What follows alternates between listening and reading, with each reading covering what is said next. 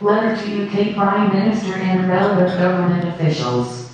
Urging ratification of the UN Convention on the Rights of Persons with Disabilities. To Gordon Brown, Prime Minister, 10 Downing Street, London.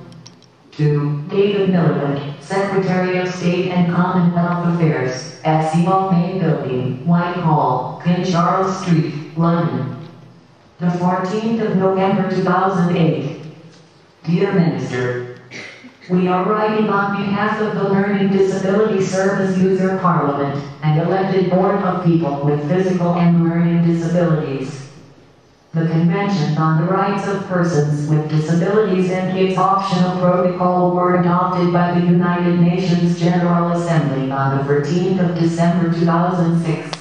More than 115 governments, over half of the UN member states, have signed this landmark treaty and, by August 2008, 32 countries had ratified.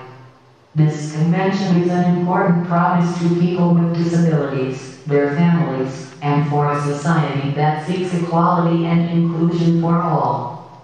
Specifically, the convention promotes a human rights approach to disability, creating a major paradigm shift in viewing persons with disabilities as holders of rights, empowers persons with disabilities, and ensures their active participation in political, economic, social, and cultural life.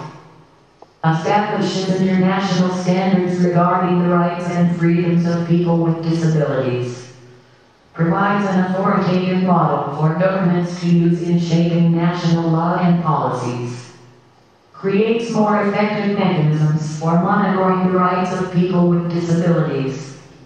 Over 130 countries participated in the negotiation process and now is the time for governments to take concrete action at both the national and international levels. We strongly urge the UK government to ratify the convention in a speedy manner. More specifically, we ask that the government of the UK take into consideration the rights of persons with disabilities in developing national legislation, policies and programs. Our organization is part of Rehabilitation International, a global network of 1,000 organizations of persons with disabilities, service providers, agencies, professionals and experts, in a broad range of disability-related issues.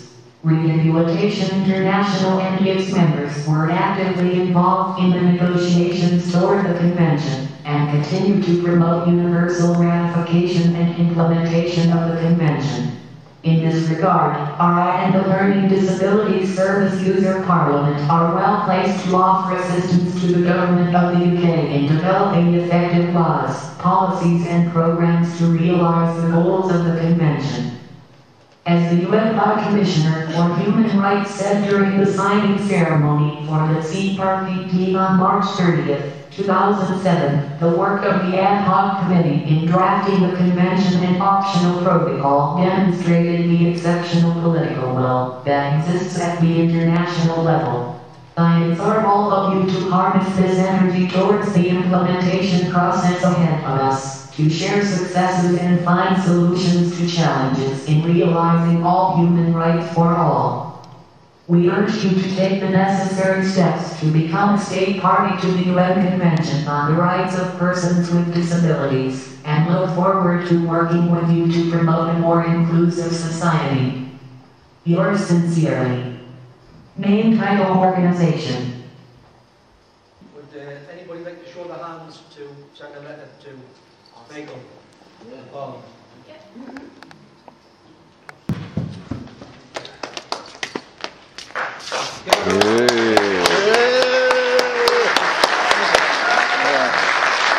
Come on, ready to sign, Mark? Ready to sign in?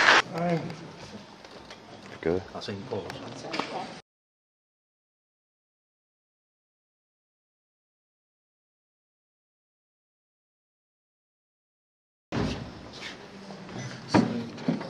Right, that's What sort it. of lean over it? Yes, Yeah. that's it, yes. You from the television? He's from Engage TV, He's Ben. Engage He's TV. Charlie's cameraman. No.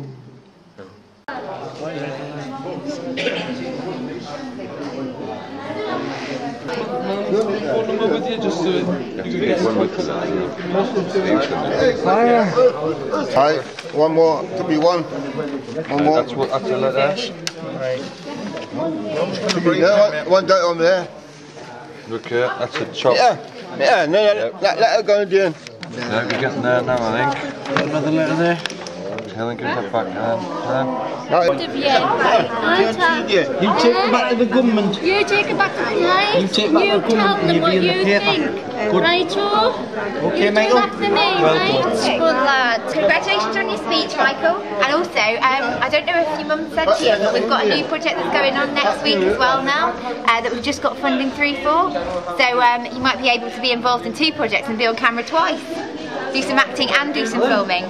What do you think of that then, Michael? Yes?